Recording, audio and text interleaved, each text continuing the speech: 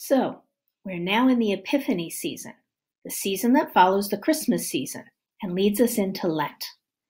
The Epiphany season is all about light, and the Epiphany season all started a long, long, long time ago. The Bible tells us that wise people from the East came bringing Jesus three gifts of gold, frankincense, and myrrh. The Bible doesn't tell us how many people brought those gifts, but since there were three gifts, we tend to talk about three wise people. But it could have been that one wise man saw the star in the sky and said, oh, Let's follow the star and see where it leads. And then one guy said, Oh, yeah, I want to go. And then a woman said, Ooh, that sounds really interesting. And then a young princess said, Oh, I want to go. I think I want to go. And her father said, You're not going anywhere, young lady. Or maybe it was just the three guys we talk about.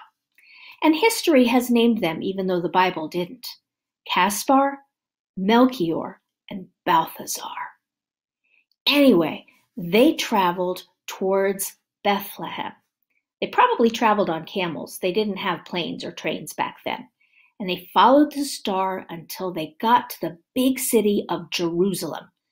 And they parked their camels outside and they went inside to see King Herod.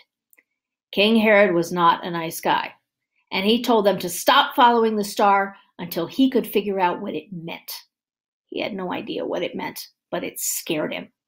So he called together all of his advisors and he said, They're talking about a new king. Where is the new king going to be born? And his advisors said, In Bethlehem of Judea. So he sent the wise men off to Bethlehem of Judea and told them to come back and tell him once they found Jesus. He was planning on killing him once he found him. Anyway, Jesus and his mother were in their house, and all of a sudden one day, these people show up at Mary's door, and they've got gold and frankincense and myrrh, and she was probably a little worried and scared and nervous, but she knew they wanted to see Jesus, and so they brought Jesus out. It says the child, so we don't really know how old Jesus was, but he wasn't very old. And the wise men, very wisely, decided they would go home by another route so that they couldn't tell Herod where Jesus could be found. So there we have it. That was the first Epiphany.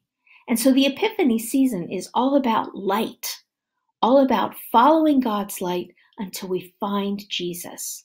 There will be many ways that we talk about following God's light during Epiphany season. I can't wait to share some of them with you.